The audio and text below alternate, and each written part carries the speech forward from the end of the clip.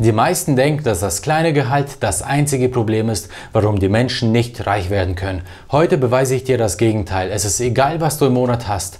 Wichtig ist, wie du mit dem Geld umgehst. Wenn du mit dem Geld nicht umgehen kannst, dann reichen dir auch keine 10.000 Euro im Monat. Danke, dass du eingeschaltet hast. Abonniere noch schnell den Kanal, wenn du das noch nicht gemacht hast. Und ich zeige dir, wie du richtig mit dem Geld umgehst. Manchmal kaufen wir so viele Sachen ein, dass wir gar nicht wissen, was wir genau gekauft haben. Und wie das so ist, am Ende des Monats bleibt nichts mehr über und man fragt sich, wo ist das ganze Geld hin? Das verstehe ich nicht. Kennst du das? Genau aus diesem Grund habe ich dieses Video gemacht, wo ich dir zwölf Sachen zeige, wo du vielleicht unbewusst viel Geld ausgibst.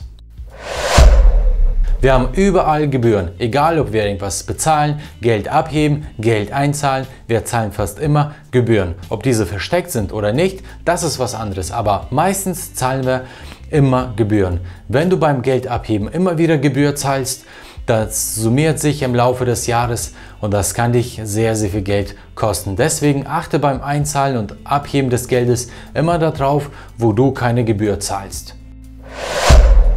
Wenn du zum Beispiel eine Rechnung nicht bezahlt hast, kommt eine Mahnung und meistens musst du dann noch eine extra Gebühr zahlen. Achte darauf, dass du Rechnungen und Strafen sofort bezahlst. Das ist extrem wichtig. Wenn du zum Beispiel eine Strafe nicht sofort bezahlst, kannst du einen Eintrag kriegen und später bekommst du keinen Kredit, falls du eine Wohnung kaufen möchtest. Es wird alles getrackt und alles aufgeschrieben.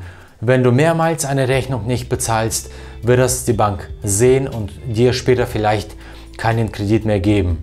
Lerne auf jeden Fall alles und sofort zu bezahlen. Es kommt was, du bezahlst das sofort ohne Wenn und Aber.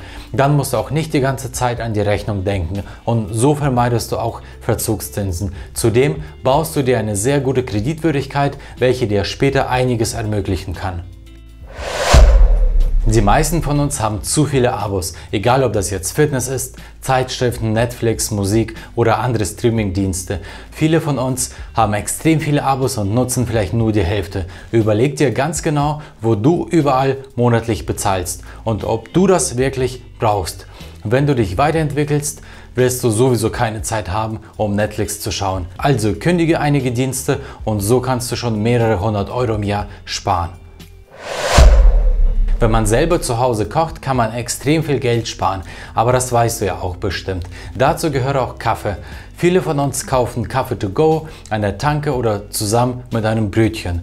Wenn man das Geld zusammenzählt, dann sind das bestimmt über 1000 Euro im Jahr. Du kannst dir eine Kaffeemaschine für zu Hause kaufen und jeden Tag kostengünstig selber Kaffee kochen. Das schmeckt genauso gut und kostet auf die lange Zeit gesehen nur einen Bruchteil davon, was du sonst immer ausgibst. Genauso kannst du dir deine Brötchen selber schmieren. Ja, das kostet ein paar Minuten mehr, aber rechne mal zusammen, was so ein Kaffee plus Brötchen an der Tanke kosten. Das sind bestimmt 5 Euro pro Tag.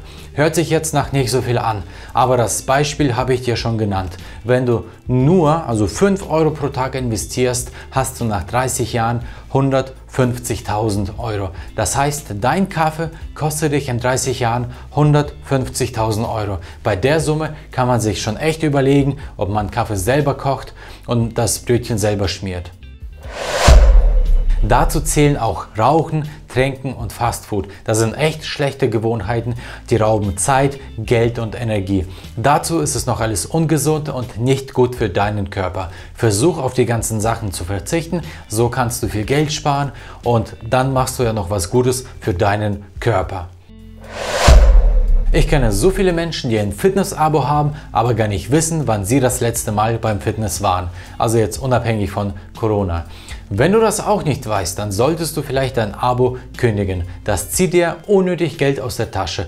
Wenn du Sport machen möchtest, kannst du zum Beispiel Radfahren, du kannst schwimmen gehen, du kannst joggen gehen. Ebenso kannst du dir bei YouTube Fitnessvideos anschauen und einfach zu Hause nachmachen. Viele von uns haben irgendwelche zusätzliche Kanäle gekauft und zahlen extra, damit man TV in HD schauen kann. Wenn du Internet hast, dann ist das eigentlich überflüssig. Mittlerweile kannst du alles über das Internet schauen und auch in sehr guter Qualität. Und wie gesagt, wenn du dich weiterentwickelst und merkst, dass genau das dich weiterbringt, dann hast du eh keinen Bock auf TV. Dafür hast du keine Zeit und willst das auch gar nicht. Wenn wir einkaufen gehen, dann sind wir dazu geneigt, viele Produkte einzukaufen. Es landet im Kühlschrank und eine Woche später im Müll. Wenn du Essen wegschmeißt, dann schmeißt du auch dein Geld weg. Wenn du einkaufen gehst, überleg dir ganz genau, was möchtest du in den nächsten Tagen kochen, mach dir genau Einkaufsliste und kaufe nur die Sachen, die du wirklich brauchst. Wenn dir bis hierhin das Video sehr gut gefallen hat, dann drück bitte den Like-Button und wir machen weiter. Für jedes Produkt gibt es eine günstigere Alternative, egal ob das jetzt Lebensmittel sind, Shampoo oder Zubehör für die Haustiere. Du musst nicht immer das teuerste Produkt kaufen. Teuer heißt nicht automatisch besser. Es gibt sehr viele Alternativen, die wirklich sehr gute Qualität haben und nur sehr wenig kosten. Wenn du eh nicht viel Geld hast, dann solltest du auf Markenklamotten verzichten. Bist du ein Showman? Willst du einfach nur Eindruck machen, dass du Geld hast? Oder warum kaufst du dir teure Klamotten für mehrere hundert Euro? Wenn du das Geld nicht hast, dann kauf dir lieber günstige Kleidung und investiere das gesparte Geld in deine Zukunft. Die Einkaufsläden wissen ganz genau, was sie machen müssen, damit du spontan ein Produkt kaufst. Da sitzen wirklich schlaue Menschen und die geben alles dafür, dass du irgendein Produkt spontan kaufst. So sind zum Beispiel Schokolade, Kaugummis und kleinere Softgetränke immer an der Kasse. So kannst du schnell zugreifen und machst zusätzlichen Umsatz für den Laden. Wie viele kaufen sich eine Zeitschrift oder Bücher, lesen das nur einmal und dann liegt das jahrelang im Regal oder landet im Papiermüll? Das ist schade und kostet echt zu viel Geld. Bevor du ein Buch kaufst, frag dich selber, ob du dieses Buch mindestens zweimal lesen möchtest. Wenn nicht, kannst du diese Bücher leihen oder die Bücher digital lesen. So kannst du Geld und Papier sparen. Den Tieren ist es meistens egal, ob das Spielzeug jetzt sehr teuer war oder selbst gebaut ist. Der Besitzer kauft sich die Sachen eher für sich selber. Dem Tier ist es komplett egal. Klar, das Tier sollte genug zum Spielen haben, aber übertreiben sollte man auch nicht. Zudem sind diese Spielzeuge extrem teuer. Du kannst versuchen, einfache Spielzeuge selber nachzubauen oder schau einfach in China, ob du das gleiche für deutlich weniger bekommst.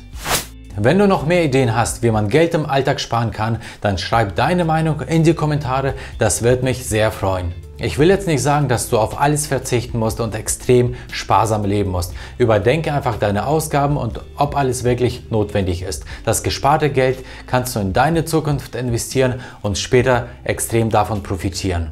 Danke, dass du bis zum Ende geschaut hast. Wenn dir das Video gefallen hat, like dieses Video, abonniere den Kanal und wir sehen uns beim nächsten Video. Ciao!